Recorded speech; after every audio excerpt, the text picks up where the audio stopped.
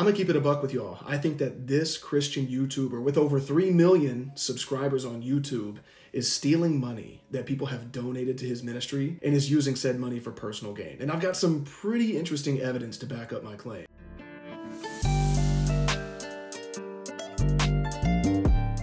Hi guys and welcome back to another video. If you're new here, welcome. and if you're returning, here's one special for you. Just for you, baby.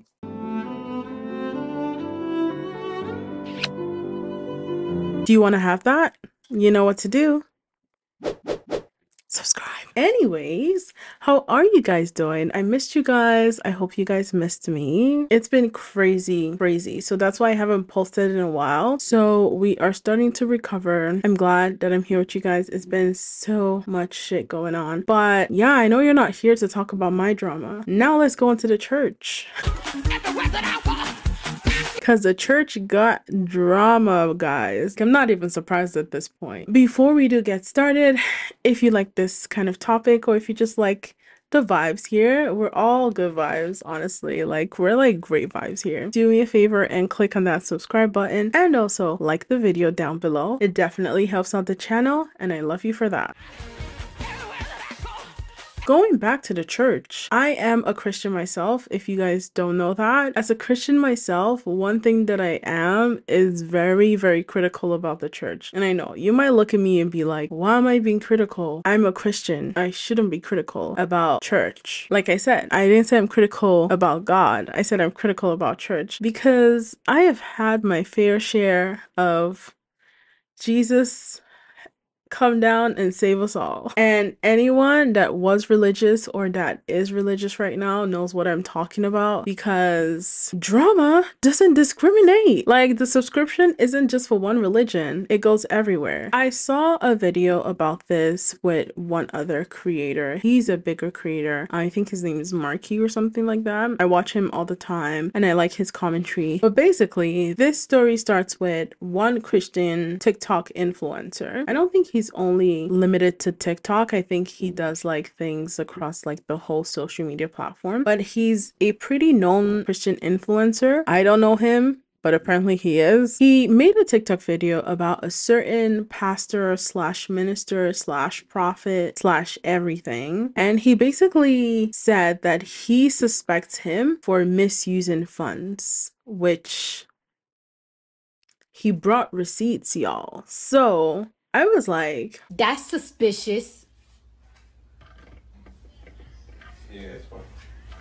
That's weird. we all know like when pastors are having private jets and having flashy cars and stuff like that, you do need to look at the bank accounts and you do need to look at where that money is coming from and where that money is going. That is my own opinion. I've seen situations whereby churches are, or the ministers and the pastors of those churches are flying private jets. 99% of people are never going to fly a private jet. So if you're ministering to people, how are you flying private jets? How are you buying G Wagons like every other, I don't know, weekend? It's really, really fishy to me. And everything that he said is also given red flags because I had to think about it and I was like, Hmm, this is really, really weird. So we're gonna watch the video. Before we do, I need you to prepare for the ride. So grab your snacks, grab your drink, your water, and I'm gonna play the video. I'm gonna keep it a buck with y'all. I think that this Christian YouTuber with over 3 million subscribers on YouTube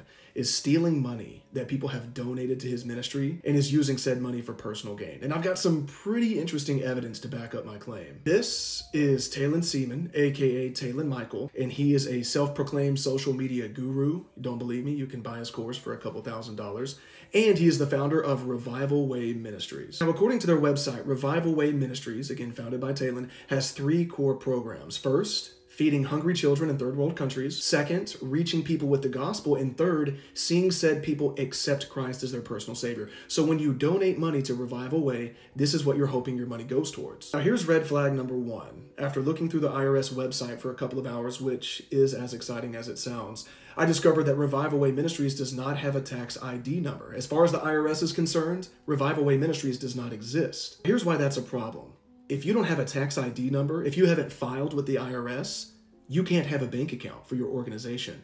So unless Talon has set up a separate organization under a different name, any donations that people make through the website or through social media is more than likely going directly into his personal bank account. Further evidence of this can be found through Revival Way's Venmo and PayPal, which have had their usernames altered to say Revival Way, but are still underneath Talon Seaman's government name. Hold on there, Josh. Regardless of the bank account, according to Talon's Instagram, they sowed $250,000 worth of those donations into other ministries. For example, according to Talon, they fed 24,000 kids through Feed the Hungry last year. Don't get me wrong, that's awesome. But according to Feed the Hungry's website, you can feed 125 kids for $25. So quick math tells us that if they fed 24,000 kids, they donated roughly $4,800 to feed the hungry. Which begs the question where did the other $245,000 go? Because there's no other mention on Talon's Instagram or the Revival Way Ministries website of other partners or organizations they're working with.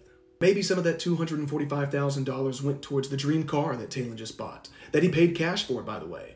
Or maybe it was some of the private jet flights or the luxurious lifestyle he and his wife are living. Some of you may be thinking, Josh, you're speculating. Maybe he took all of that money and poured it into his YouTube, his social media, so that he can create quality videos that preach the gospel and reach the masses for spreading the good news about Jesus, right? I kid you not. These are the last six videos that he posted on YouTube. So we're really preaching the gospel over here. Now, I'm not trying to bash Talon because the reality is he's not the only guy that's doing this. We've got to call this stuff for what it is it's lying, it's stealing all for the sake of Talon getting to live his prosperity gospel wet dream. Now, I'm making some crazy claims. So, Talon, if you want to make a video refuting these claims and showing some financial transparency, transaction history, you could probably use the views. Why not? If you can prove me wrong, I'll delete this video and promote your course for free.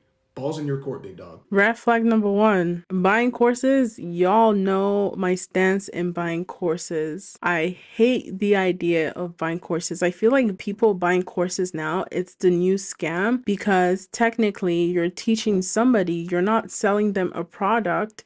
It's like, well, I'm teaching you, so if you fail, it's not on me, it's on you for not implementing whatever I want you to. I can do another video on that if you guys want. But buying courses now is the new scam, especially when you're buying it for thousands of dollars. That's red flag number one. Do not buy any course for more than 15 bucks, okay? Harvard has free courses. Why are you paying $1,000 to buy a course? Red flag number two, if you are receiving donations from people, you need to register as a charity. You can't just receive donations and not have a tax ID number. As long as you're receiving receiving money from anybody. Like you can register as a charity for the community, you can register as a charity abroad, whatever it is, like you are receiving money, you need to have a tax ID and the IRS needs to know where that money is coming from. Okay, so as you can see, he definitely did bring a lot of evidence and he's basically saying that things are not adding up, okay? Like two and two is not four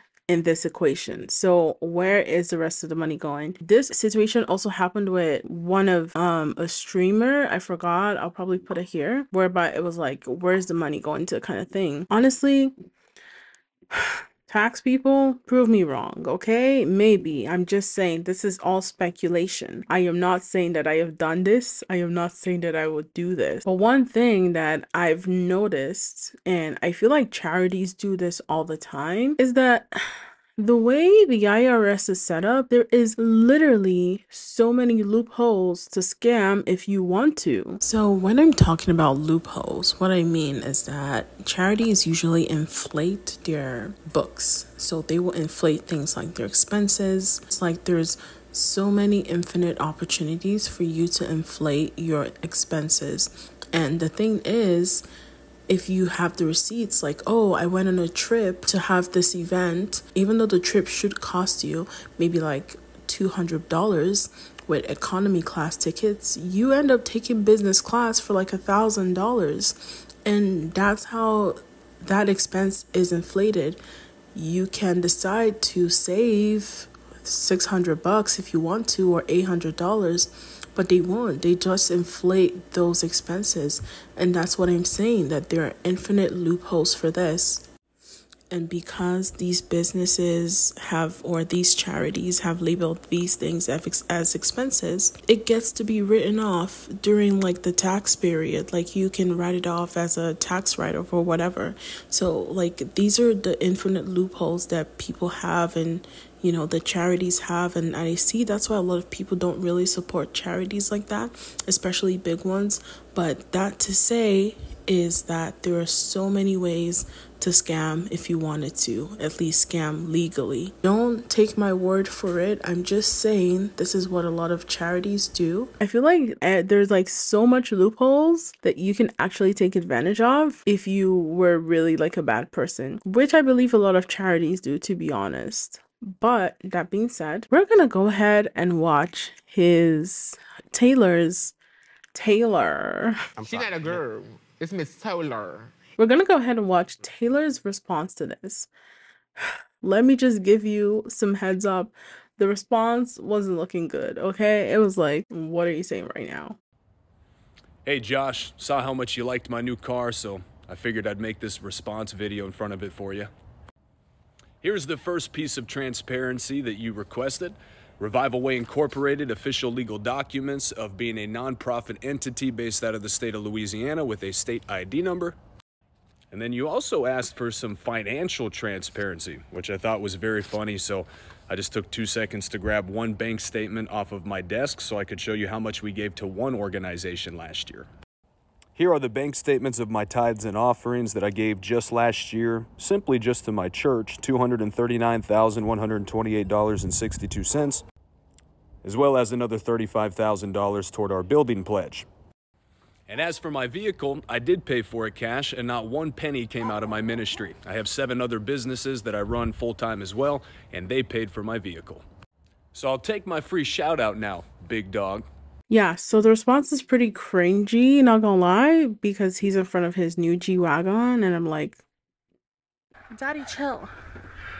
What the hell is even that? Another thing that I wanted to say that I kind of found weird was the bank statements that he has. Anybody can fake bank statements. We all know that. I didn't even see the logo of the bank that he has, and it's all in like tithes, tithes, um, offerings, and stuff like that. I don't know. It just feels weird. I've never like worked in the financial department of a church before, so I really don't know the ins and out. But from a bank perspective, I think those will be either labeled like maybe like expenses or, you know, like miscellaneous or something like that. I don't think it would be like maybe like tithes or something like that, or it will be labeled donations. So that's where my alarm bells are going off. This is me thinking that that is not a real bank statement. I don't see the logo of the bank. It's something that you can basically type up and just like printed out and stuff like that. That being said, he didn't really address a lot of the allegations that were made. One of the allegations being you can feed the kids for $4,200. I believe that's what um he said.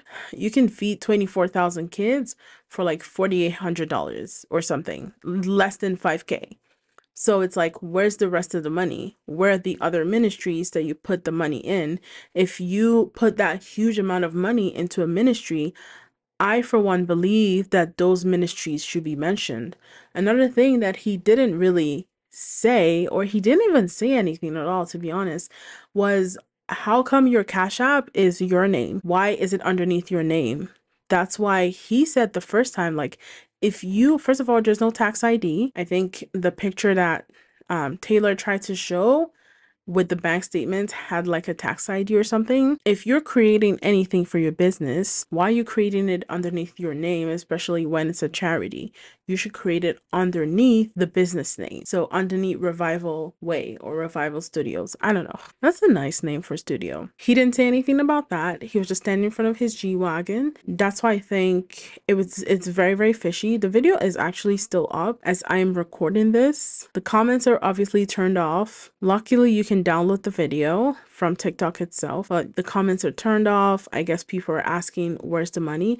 And I noticed that. And I noticed it from like other of his videos that he posts on TikTok or YouTube, but people just keep on asking, hey, where's the money? I think people are just trolling now. Honestly, I don't have it in chronological order, but I know that Talon reaches Josh and he's threatening to sue him. So, quick update on the Talon Michael situation. He's threatening to sue over my last video, hence why it has become a situation. But we'll get to that. Since I posted that video about Talon on Friday, I had hundreds of people, I kid you not, hundreds of people DMing me, commenting, people that know Talon personally, people that have gone to his church or go to his church in Louisiana, people that went to college with him, reaching out to tell me stories, experiences, places to look, things of that nature. So that's what I've been doing all weekend is just diving in, kind of like an investigative journalist. It's been kind of fun. Diving in and really trying to make sure that I'm factual and accurate with the things I say and the questions I ask. Just for the sake of clarity, I will be posting a video tomorrow basically responding to his video to me, which if you guys saw that video, his answers were inadequate at best and left us with more questions even on what's going on financially, things of that nature. So I will be posting that video tomorrow. But as for the potential lawsuits, Talon has given me 24 hours to remove the original video or he'll be suing me for defamation and slander. Fortunately for us, and unfortunately for Talon, he's bluffing. In fact, I'm fairly certain he wrote that DM himself, not his legal team. I'm not going to let a guy that thinks he has a ton of money bully me into doing anything. So the video will stay up, and the video with all of my investigative findings will be posted tomorrow. Also, one last thing please don't harass Talon or his family, especially. It's okay to ask hard questions and hold someone accountable, but let's keep it clean on that front. And with that being said, I'll see you guys tomorrow. First of all, from what I understand, is that's not how you do things. Lawyers comment on this. I, if you want to sue someone, I don't think you message them on Instagram. I think you have to present, you have to mail them a physical document for your intention to sue or something like that. You don't just message through DM. It's just like, oh, if you don't take this down by da da da da, you know, we're gonna sue you kind of stuff. I don't think that works in the legal court system. Correct me if I'm wrong, but I think they're just trying to threaten him just so he can take the video down, which he's not getting budged by which is good. Okay, so basically everything he says that we kind of spoke about and we kind of covered them like they he didn't really say anything in his response. But our little revival way ministries decided to respond to the whole backlash that they're getting. I don't have the original video because to God help me, I couldn't find the video. So we're just gonna watch a reaction of Josh himself talking about it. Most of what Josh is saying is basically what I agree with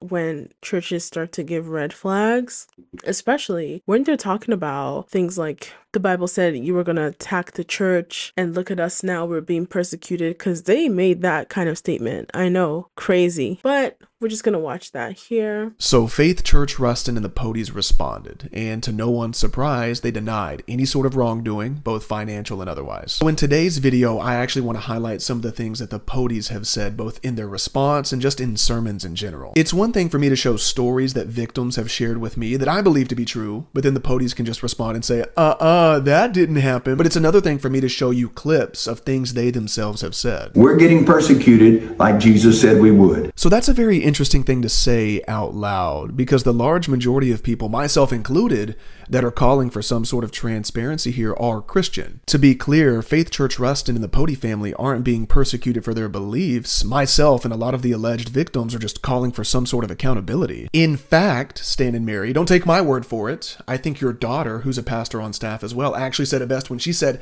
when something like a sin comes out about a pastor, it's not always the devil trying to attack them. Rather, someone's sin finding them out actually is the mercy of God. Jesus said there would be offenses. It, it's just a given. People are going to get offended. We've been here for 21 years and over 21 years, of course you're going to have people who get offended. My wife and I died laughing when we heard this part. Hate how casual Mary Pody's making all of this sound. Now, if it was like two or three people, hey, maybe they have an axe to grind. Who knows? But the fact that there have been hundreds of people with just disgusting stories about Faith Church that make you want to puke, you know? And the fact that they're like, hey, people get offended, they leave sometimes, that's not normal. I'm here to tell you, I've been a part of many churches. This is not normal church activity at all. Anyways, moving on from their response, I now want to show you what a regular church service looks like at Faith Church Ruston. Um, let's do that real quick. You can go, this is good ground. It's good ground. It's good ground. We break this thing tonight. Don't be ashamed. That was a video of Pastor Stan Pody lying on the floor of his church during their Millionaire Boot Camp series, while another speaker prompts other members of the church to go up to Stan's borderline unconscious body and lay money on him. Just to be clear, Throwing money at a pastor while he lays on the floor with his eyes closed like some sleepy stripper isn't normal activity. It's not. You can already hear the pastors and the members of the church, hey, you took that out of context. No, I didn't. Uh, what context is that correct in? Also, did you know that Stan Pody wrote a song called Money Cometh and they sing it during church? Not normal activity. Next video I'm going to show you is a clip from one of Kinsey Pody's sermons at Faith Church Ruston. You just need to take control and command because Jesus is not in control. Did you know that? God is not in control. It's unbiblical. God is not in control. I think what that sermon illustrates, even if they don't realize it, is what the Podys actually want. More than money, more than clout, they want control. I believe that to be true from the multiple stories I've heard from people claiming that the Podys wanted to control their finances, their employment opportunities, their dating lives. Nothing about this is normal. Also, I do want to add to that if you in your church have a high turnover rate, there's a problem. There's no way else to sugarcoat this. If you have a high turnover rate in your church, like people are coming and they're leaving as fast as they come, there's a problem with that church. Nothing else can prove me wrong because if people are leaving, then either there's something wrong with the way the church operates as itself or the way they preach the word. That is my opinion. And I feel like I stand with multiple people on this because sometimes I've actually seen stories and heard stories, and actually, I have experienced stuff where you join a church and it all looks looks good and dandy the first couple of months or even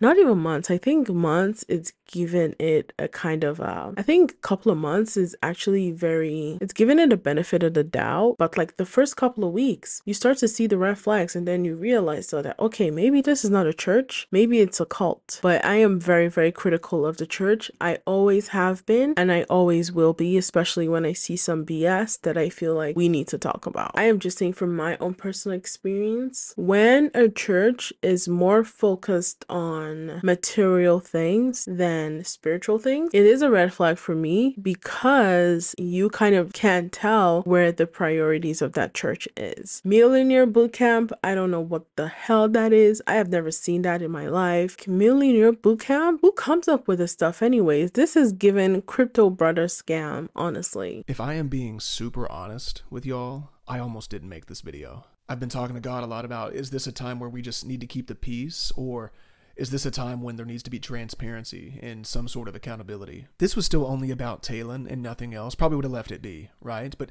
this has snowballed into something much bigger thanks to the numerous messages and DMs from current members of Faith Church, ex members of Faith Church, and people that just live in Ruston in general. There seems to be a unified voice that needs to be heard, and the dumb internet Christian comedian is going to be the guy to do it, I guess. Last thing I'll say, and we'll get right into it. My main goal for this is people to know Jesus, not prosperity, gospel, young money, cash money, Jesus. Jesus, period.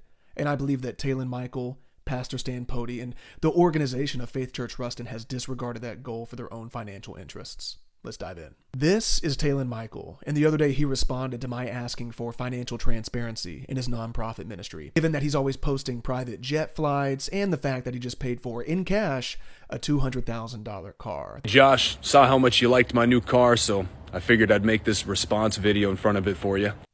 Okay. Cool car, man. Um, what about your house? Because according to this document that was filed by your father in law's LLC, he actually owns the house that you live in and I'm assuming he doesn't charge you rent, uh, but more on him later. Here's the first piece of transparency that you requested.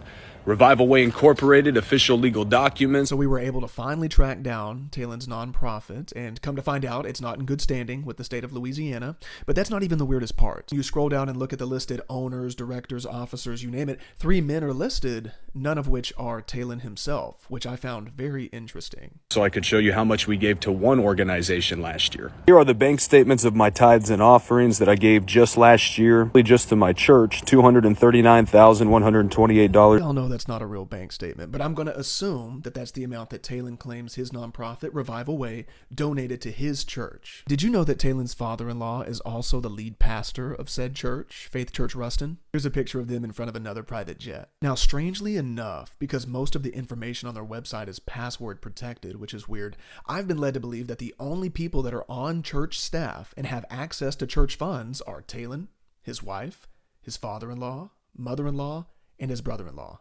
That's it. So here we see what looks like Talon flexing that he's donating money, money that he was given to a church that he's essentially the number two in command at. But from just reading some of these stories from both current and ex members of the church, it sounds as though Talon's revival way escapade is just a smaller part of a much bigger prosperity gospel operation. Many current and ex members of the church, who will remain anonymous, of course, seem convinced that Pastor Stan Pote's main priority is financially exploiting anyone that sets foot in their church. For example, on top of the regular tithe, which this church believes should be 20%, they also have special offerings that occur on Pastor Appreciation Month, Stan's birthday, his wife's birthday, their anniversary, Father's Day, Mother's Day, and the church's anniversary. Another source told me that Pastor Pote keeps track of who does and doesn't tithe and has higher members that he'll send out going neighborhood to neighborhood collecting tithe from members that may be behind on their giving. Now, maybe some of you don't have an issue with a pastor leading a church in this manner.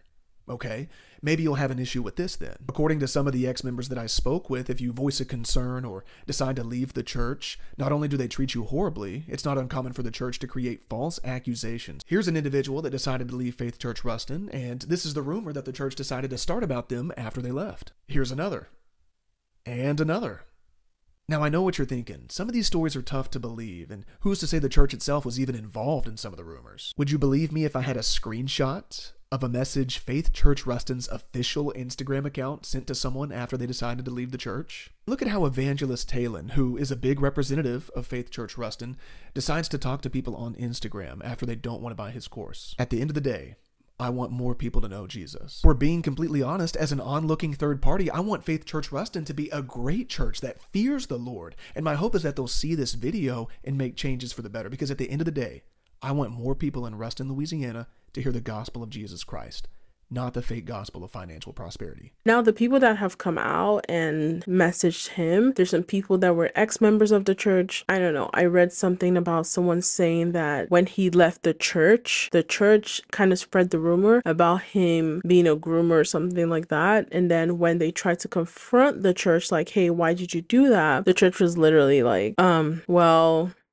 why did you leave the church kind of thing. So red flag number 5000 at this point. Like paint the whole room red because this church is giving Ciao. He has posted some videos about it, like the responses and stuff. It's still the same thing. There's nothing that has really come out of this drama. It's just him exposing Revival Way um, in his videos and kind of trying to piece two and two together. Now, like I said, I don't know about this person. I literally saw this on someone else's YouTube channel and I was like, hmm time to follow that train, baby. But let me know what you guys think down in the comments below. Is he being too much? I also want to know your stories about religion or about like whatever church or mosque or whatever it is that you've attended to before. So let me know down below right now, please. I'm going to be posting videos back on schedule once a week. You already know. So I'm going to be posting a video every Saturday or Sunday. Honestly, depending on how I'm going to edit that video. But I definitely will be able to do that. And sometimes I will be posting some shorter content. I want to say low effort videos, which is just like maybe responding to drama and stuff like that within the week. But the schedule is once a week, Saturday or Sunday. Don't forget to give a thumbs up to the video. I really do appreciate it if you do. I really do appreciate it. I really do appreciate it. I really do appreciate it. So subscribe to the channel. Join the family, guys. We're trying to get to 500. 500. Actually, we're trying to get to a thousand. So join the family. Let me know what you all think. And I'm going to see you guys in the next video. Stay true to yourself, king and queens. Huh. All right. Bye. Thank you for Good morning. Me. Morning to you. Why are you gay? Who says I'm gay? You are gay.